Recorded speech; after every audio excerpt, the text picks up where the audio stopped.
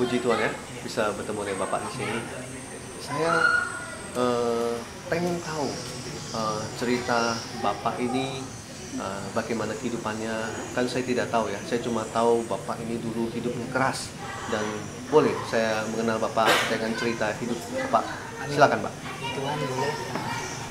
Awalnya sih saya dulu ya orang tua saya muslim ya tidak perlulah saya panjang lebarkan Nah, Nah, kemudian saya ketemu dengan istri saya. Nah, itu waktu itu saya belum masuk agama yang sebenarnya. Dan saya belum tahu arti Bapa ataupun uh, Bapak Yesus. Ya. nah, itu saya masih belum masuk separuh-separuh gitu.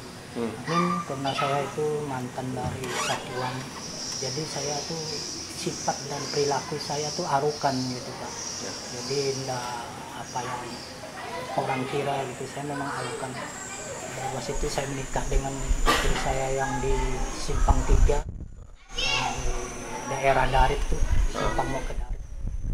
Dan setelah saya menikah saya sempat juga meninggalkan istri saya karena saya mencari nafkah di luar.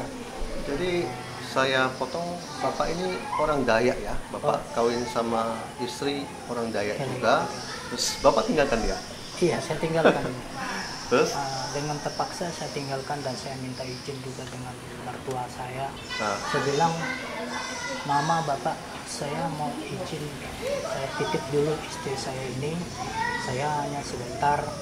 Ataupun sampai saya mendapatkan tempat tinggal untuk membawa dia ke sana oke. kemudian ya begitulah saya ada masalah pak waktu itu karena masalah saya dengan ya antara satuan TNI dan Brimob waktu itu tapi lepas itu ya udahlah itu masa lalu saya Ya. dan sekarang saya puji syukur Tuhan masih memberikan saya ya, pekerjaan Ya. waktu itu di Surabaya tuh di daerah Malang di City Mall Oke. saya bangga dapat kerjaan di situ.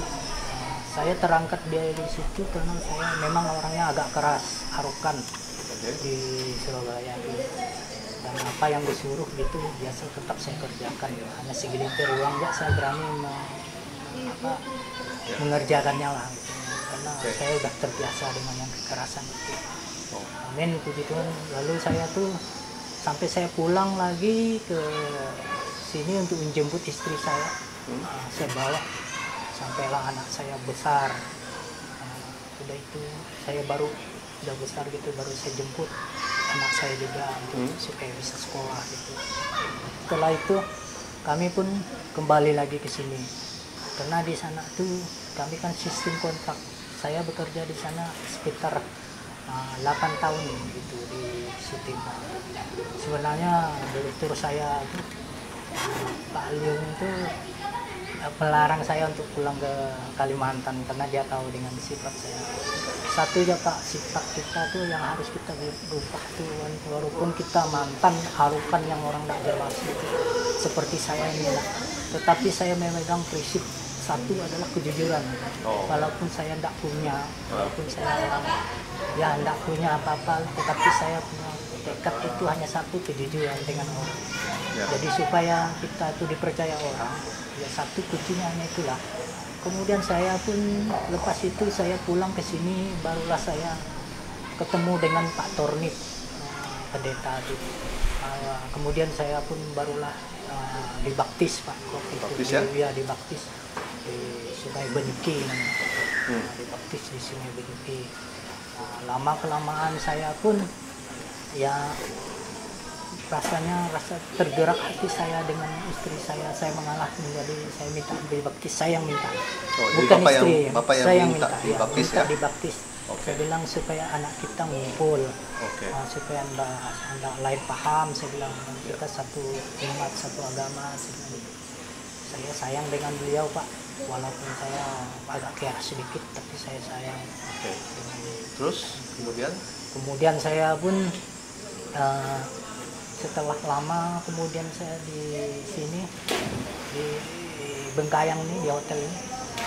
Kemudian ada kegiatan apa? Waktu itu saya ketemu dengan bapak yang tidak saya duga-duga. Dari itulah yang rasanya saya tidak bisa lagi terbendung air mata saya. Yang masih saya ingat sampai sekarang untuk saya bertobat gitu. Untuk saya supaya saya bisa sadar dari itu. Dan yang paling itu lagi karena sakit penyakit saya cepat sembuh. Yang tidak terduga gitu. Sakit penyakit saya langsung sembuh. Boleh Yang- tahu waktu itu Bapak sakit apa? pertama saya sakit eh, kantong kemih kedua Kantong kemih. ya keduanya barulah eh, usus buntu Oke. Nah, kemudian saya ketemu dengan Bapak Hendrik. Amin puji Tuhan itulah yang menyuruh saya tidak mampu dan tidak bisa terbetung sampai sekarang. Saya masih ingat dengan Bapak yang waktu Bapak yang mengajarkan kami istilahnya apa itu namanya yang ya supaya kami disembuhkan gitu. Amin. Nah, dari situ.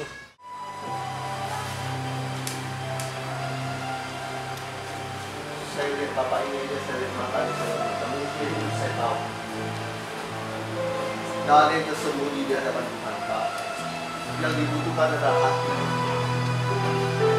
Hati. Hati.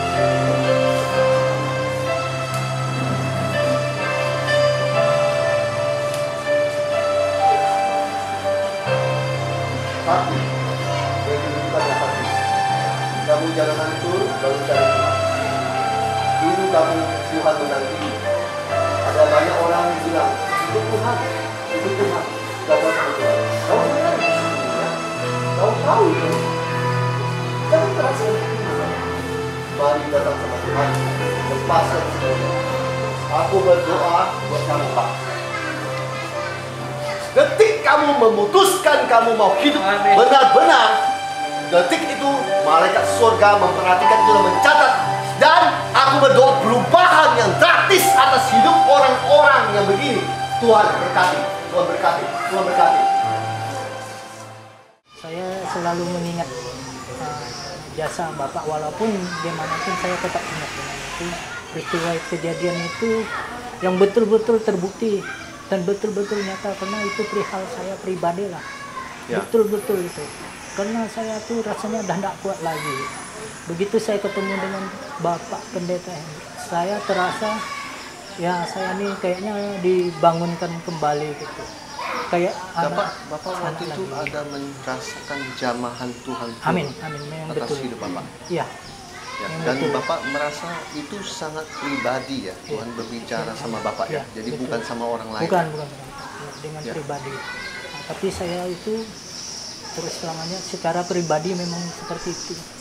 Dan waktu malamnya saya pulang dari jamaah dari Bapak Hmm. Nah, pendeta Hendrik itu saya terasa langsung karena malamnya itu rasanya saya rasa ringan badan saya pertama di situ kemudian kemarinnya itu saya makan kan agak susah. Sekarang saya makan udah agak amin puji Tuhan udah lancar udah gimana gitu. Udah sehat saya sekarang udah seperti Jadi saya sekarang mau tanya kesimpulan Bapak dengan sebuah pertemuan dengan Tuhan Yesus dalam bentuk jamahan Roh Kudus. Apa yang Bapak mau bilang sama Tuhan? saya hanya satu saya ingin menjadi tetap menjadi pengikut Tuhan Yesus Amin. sampai akhir saya sampai istilahnya penghabisan yang terakhir saya tetap ikut Tuhan Yesus lah karena saya dari Tuhan Yesus itu saya mendapat perubahan kedua lagi saya memang dapat merasakan keajaiban-keajaiban itu yang tidak kita duga-duga bisa-bisa ada gitu. Contohnya kalau dulu kan kalau saya susah betul-betul susah. Kalau sekarang saya bilang susah tapi waktu saya kepepet, waktu saya perlu kemarin kayak istri saya masuk di rumah sakit, langsung saya orang datang sendiri ini Pak Edi saya hanya bisa segini dari bos saya loh walaupun dia bos tapi kan kalau hatinya tidak tergerak saya yakin saya tidak akan mendapatkan bantuan apa-apa di situlah yang nyuruh saya tergerak rasanya dan saya merasa malu karena Tuhan Yesus itu lebih dari segalanya bagi Amin. saya Amin. itu dia tidak ada tambahan lain ataupun saya menambah-nambahkan itu tidak Memang saya sangat mencintai Tuhan Yesus dan Jadi- kalau bisa sampai akhir pun saya selalu akan ikut Tuhan Yesus Puji Tuhan. Jadi itu intinya sampai akhir pun tetap ikut Yesus. Yesus. Puji Tuhan. Terima kasih Pak Edi. Tuhan Yesus memberkati.